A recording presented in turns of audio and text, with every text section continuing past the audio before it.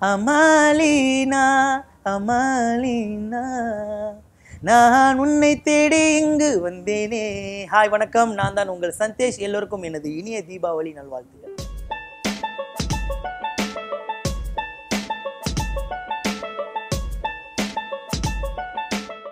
வருஷம் வருஷம் என்னோட தீபாவளி எப்படி போகும்னா காலையிலே எங்கள் வீட்டில் பசியாரிட்டு அப்புறம் இன்னொரு கூட்டாளி வீட்டில் போய் பசியாரிட்டு அப்புறம் இன்னொரு கூட்டாளி வீட்டில் பசியாரிட்டு அப்புறம் லஞ்சு அப்புறம் காஃபி டைம் அப்படியே டின்னர்னு அப்படியே போய்கிட்டே இருக்கும்.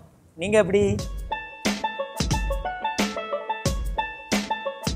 மறக்க முடியாத அனுபவம் எனக்கு இருக்குது தீபாவளியில். பட்டாசு வெடிக்கும் போது ரொம்ப ஆர்வமாக ராக்கெட் பட்டாசு வெடிக்குன்னு சொல்லிட்டு கொளுத்திட்டு அந்த பாட்டிலில் சொருக்கி வச்சுட்டு கொளுத்திட்டு வெயிட் பண்ணிகிட்டு இருக்கும் போது கடைசியில் அந்த உச்ச கட்டத்தில் அந்த ராக்கெட் அப்படியே திரும்பிச்சுங்க. அப்படியே மூணாவது வீட்டில் போய் போந்துருச்சு. அதுக்கப்புறம் பட்டாசு போய் நல்ல வேளை அங்கே ஒரு அக்கா நின்றுட்டு இருந்தாங்க கதுவாரத்தில் அவங்களுக்கு தள்ளி கொஞ்சம் ஒரு இன்ச்சு நகர்ந்துருச்சு இல்லைன்னா அன்னைக்கு தீபாவளி தான். ஓகே தொடர்ந்து ஒரு மூணு வருஷமாக வந்து தலை தீபாவளி கொண்டாடிட்டு இருக்கேன் என்னோட மனைவியோட. ஸோ இந்த வருஷமும் நாங்கள் தீபாவளி சந்தோஷமாக கொண்டாடலான்னு இருக்கோம்.